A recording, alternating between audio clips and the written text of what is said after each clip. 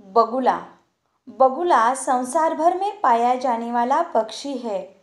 बगुला का रंग सफ़ेद होता है।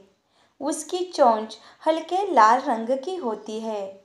उसके पैर गर्दन और चोंच लंबे होते हैं। बगुला की आँखें बहुत तेज होती है।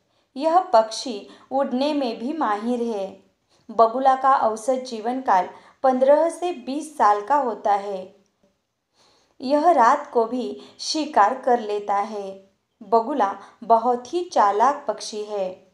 यह बड़ी ही चालाकी से पानी में मछलियों का शिकार करता है। यह पानी में बिना हिले डुले सीधा खड़ा रहता है। इसकी रेंज में शिकार आने पर यह झपटा मारकर उसको निगल जाता है। बगुला का निवास स्थान तालाबों के आसपास होता है। कुछ लोग बगुले को ढोंगी मानते हैं।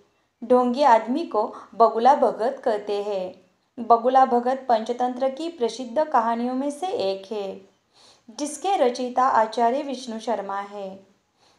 बगुला के नाम पर एक देवी का नाम भी है, जिसे बगुलामुखी कहते हैं। बगुला का ध्यान भी होता है, अर्थात बगुले की तरह एकटक ध्यान लगाना।